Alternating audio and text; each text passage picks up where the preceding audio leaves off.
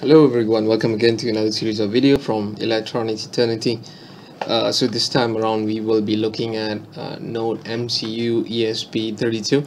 So this is a Wi-Fi module and uh, I feel that this module is, is quite powerful in comparison to uh, the ESP8266.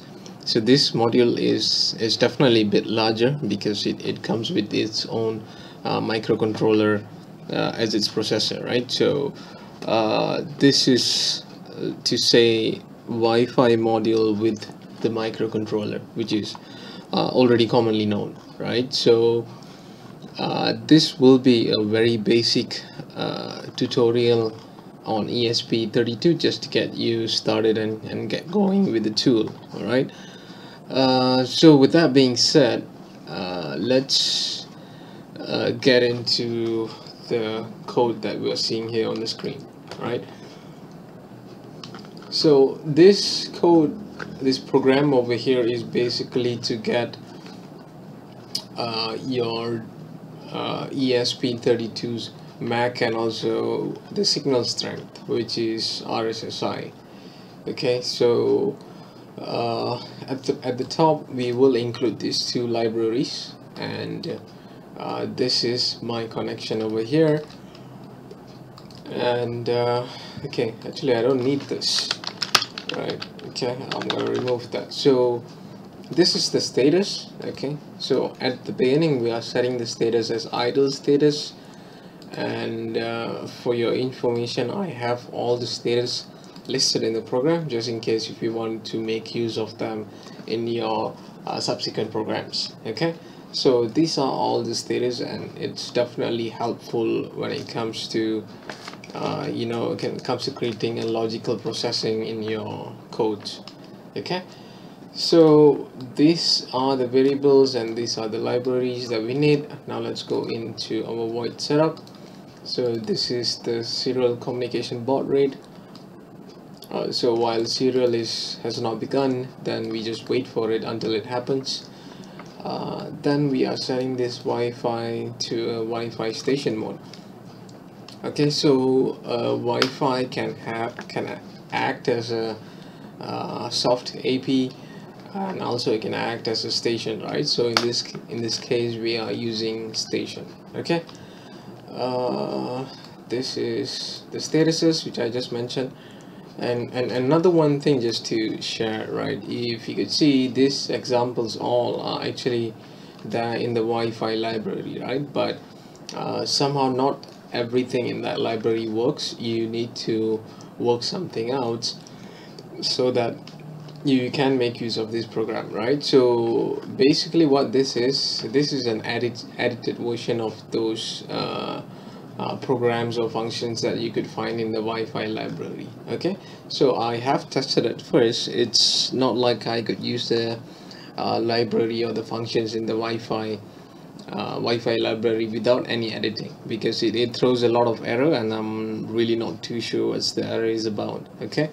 And also the library is quite old so I'm not too sure if all the functions within the library are still usable. Some may require a bit of editing here and there to make it work.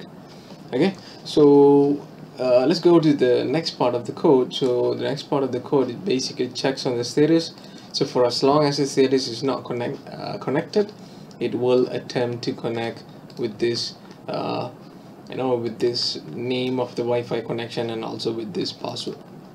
Okay so once it is done it will break the while loop and then it will say you are connected to the network and it will print the current net and also will print the Wi-Fi data.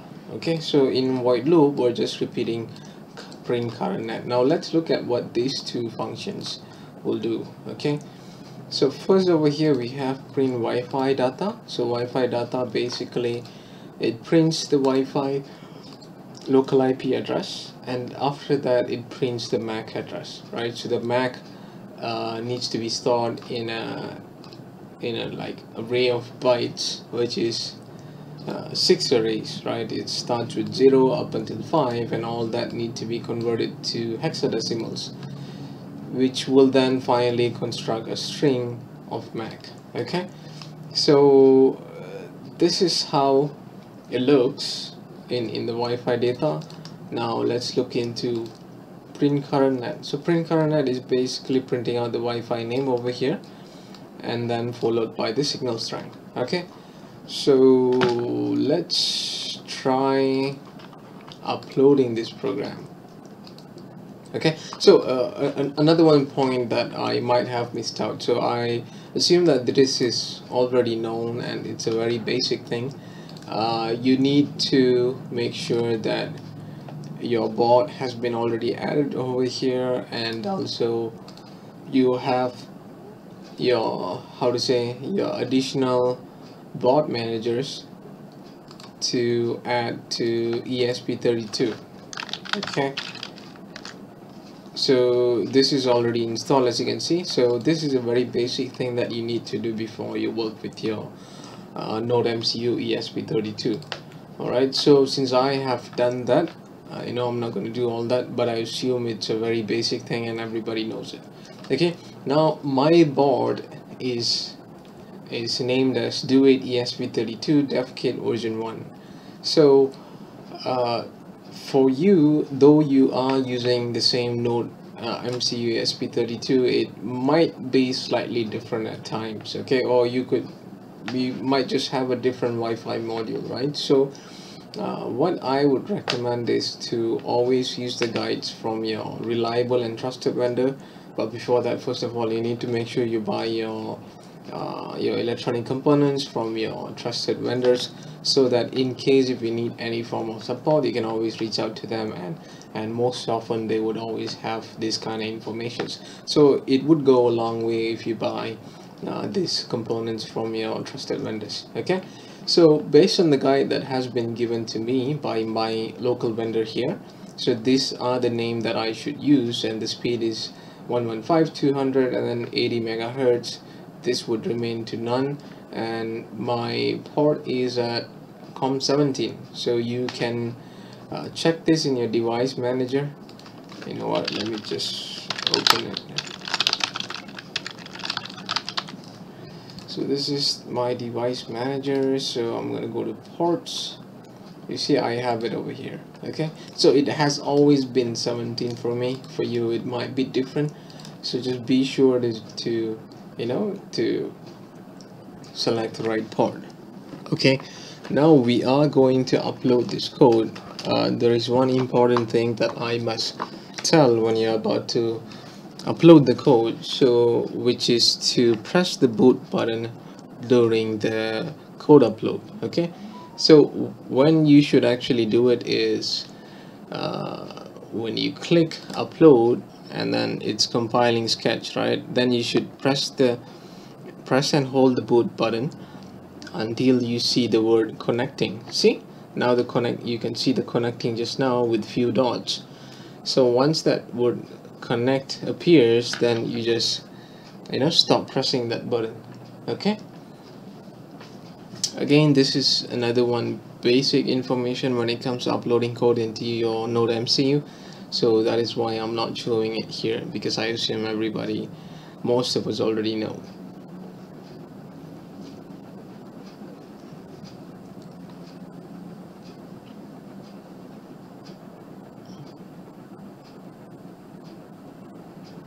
okay. Uploading is almost done. Okay so now I'm clicking the serial monitor. Let's see what the output that we get. Okay attempting to connect Wi-Fi which is over here. And uh, let's see. So it remained there so I assume it could be some problem with the Wi-Fi. So again it's attempting to connect Wi-Fi and uh, oh boy kept on attempting. So now is it connected? You know what? Let me just hit the boot button. Okay. So now attempting to connect Wi-Fi. Uh, let's see if it could connect now. Okay. You are connected to the network. SSID is electronic eternity and uh, you know uh, you could of course you could put a print line over here then it would look better right? So signal strength is 35 IP address is this and uh, MAC address is this okay?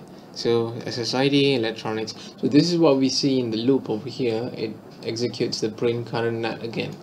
So it will throw out SSID and also give you the signal strength so as you can see the Wi-Fi name and also the signal strength is being repeated over here for I think every 10 seconds. Okay. So I guess that is all. Okay. So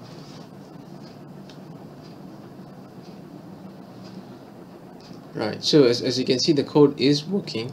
Okay. Now let's look at the next part of our basic tutorial. So in this tutorial we will be looking into uh, how to set uh, static IP okay? So uh, static IP will be uh, might be useful when you have a server or when you have your node MCU configured as a server right? So that if you want to connect to the server uh, you would always know what the IP is right? So uh, because IP can be dynamic at times so because if you had to uh, restart your router or anything then uh, most probably the IP would change. But by doing this uh, every time you boot your server which is basically booting your ESP32 uh, it will always set to the same IP right? So uh, that's how this becomes uh, useful for us. So let's look into the code. So we have the same structure over here right? It's just that this time around we don't have the status okay? So we have a function called initialize Wi-Fi init Wi-Fi. So it sets the Wi-Fi mode to station and then next we have the Wi-Fi name and the password and it attempts to connect to the Wi-Fi. So for as long as it is not connected you know it, it will keep on creating a dot so it would make it look like it's buffering or loading. Alright so once it is connected then it will break the while loop. It will print out the original IP which is at first and then we will uh, okay so this is the original IP so this is basically initialization uh, which we, we could see over here. Uh, we could also see the signal strength right? Uh, which is okay so it's there for some reason I think maybe because I want to create a separation. Alright next is for us to set our static IP address okay? So IP address is 192.168.1 so uh, how do you know what IP address you need to set? Is it's always such that we would change the uh, you know last digits right? So if your IP address is currently 1 uh, 92168 uh, and 1 it's over here 10 you maybe you could play around with the three digits. Or you could just change the entire thing. I think it would still work because after all it's just an IP assignment uh, assignment. Alright?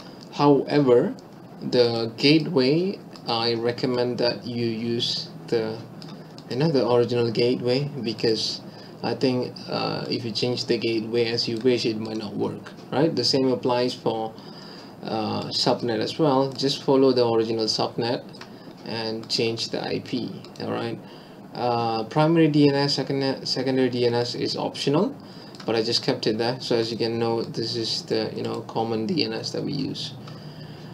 Uh, next if the if setting the new static IP fail then it would print STA fail to configure right? Station failed to configure so basically this is the command that will run to set all this new static IP along with the attributes such as gateway, subnet, primary DNS, secondary DNS. Alright, so once it is done, it will print out the customized IP and it also print out the local, uh, sorry, it, it will just print out the new Wi-Fi IP, right? You have a string over here named customized IP and then the actual IP will be populated right next to it okay so uh, with that being said let's now try to upload this code.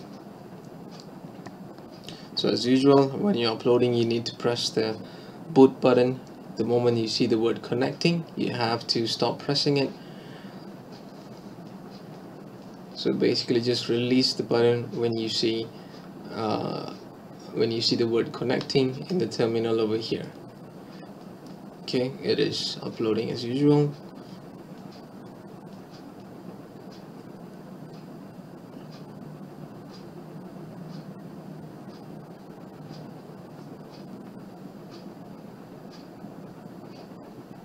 it's taking a while. Let's wait for a bit. Okay almost done. Okay now it is done. So let's open the serial monitor. Okay let me hit the reset button. So it's attempting to connect to the Wi-Fi. Okay so connecting to the Wi-Fi once it is done it will show the original IP which is 172 and the signal strength RSSI I think I purposely put this over here just to create that you know separation between these two. So now you could see the customized IP is 192.168.1.111 which is similar to what we have set over here. Okay? So like I mentioned this would be useful for uh, any applications that you want to have specific IP for example like uh, uh, Node MCU acting as a web server. Alright so uh, with that being said so we have come to the end of the tutorial. So I hope this uh, video is helpful. So we have learned how to get uh, MAC address. We have also learned how to get uh, signal strength we also learned how to uh, set static IPs right? While at the same time learning how to use this uh, Wi-Fi module with basic functions okay? So I hope you learned. I hope that this video will be useful for you to learn further about ESP32 which of course can get more than more complicated than this okay? With that we have come to the end of the video. Thank you for watching. Please don't forget to like and subscribe. Thank you